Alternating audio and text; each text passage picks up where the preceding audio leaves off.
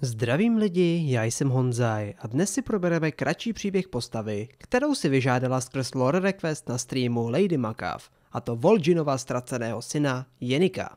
Ještě ale předtím, než se vrhneme na samotný příběh, pokud chcete podpořit moji tvorbu, nejlíp tak uděláte lajkem na video a odběrem na mém YouTube kanálu. Jeniku je nejmladším synem někdejšího náčelníka Hordy a trolího klanu Darkspear, Vol'jina. Narodil se ještě ve Stranglethornu, kde je mezi troly džungle zvykem, že mladí trolové šli na nějakou dobu žít do klanu Gurubashi. Přesný důvod této tradice však znám není.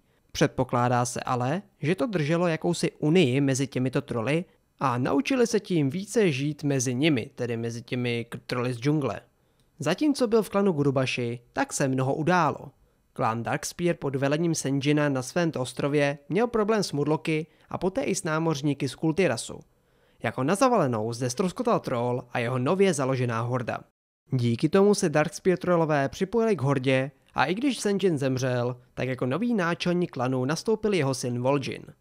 Nechali však za sebou Jenika, který zůstal ve Stranglethornu v Gurubashi a nějakou dobu o něm neslyšeli, protože ani nějak neměli možnost. Poté, co se Darkspearové usídlili v Durtaru na Echo Isles, bylo možné se na tuto záležitost znovu zaměřit. Do Stranglethornu byl tedy vyslán Vol'jinem jistý troll jménem Nimboja, který si zaměstná nás hráče, abychom mu pomohli. Nejdříve mu ale musíme dokázat, že jsme dostatečně silní zabitím hromadou trolů. Poté zabijeme ještě větší hromadu trolů, jen abychom stvrkli jejich hlavy a zjistili z nich nějaké ty informace. Nakonec to ale bohužel nikam moc nevede, tak jdeme zabít jednou z vyžaktorů klanu Bloodscalp Nezlioka, který je prý hluboko kdesi v kundě, tedy v Zulkundě. Vezmeme jeho stvrklou hlavu a komunikujeme s jeho duší. Řekne nám, že Jeniku je pravděpodobně již navždy ztracen. Jeho tělo i duši totiž zajal jistý Zanzil, jim zvaný vyvrženec, který se snaží v této džungli sjednotit všechny místní kmeny pod svou vládu tím, že je zdroguje, aby nad nimi měl neomezenou kontrolu. Právě Jenika Zanzil vyslal ke klanu Splitter, aby se pod vládu Zanzila přidali.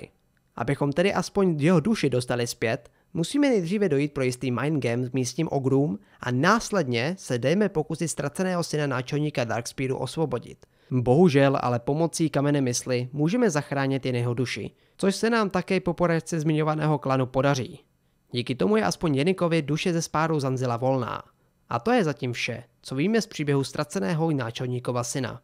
Bohužel nevíme, jak tento příběh pokračuje dál a pravděpodobně se to už někdy dozvíme.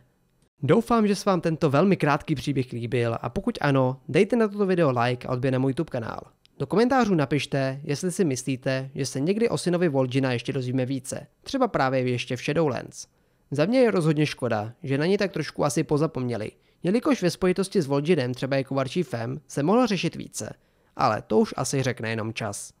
No a já se nyní s vámi loučím. Přeji vám všem příjemný zbytek dne a nezapomeňte, že nikdy nesmíte dělat vůdu.